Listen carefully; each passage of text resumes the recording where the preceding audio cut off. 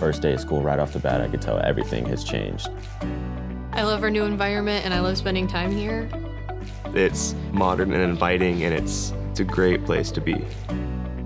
We understand that today's educational delivery has shifted from the industrial age model, memorization, to one of critical thinking and collaboration. So naturally, we want to foster that with our facility, wrap around what they're trying to achieve educationally, and provide the best opportunities for their students.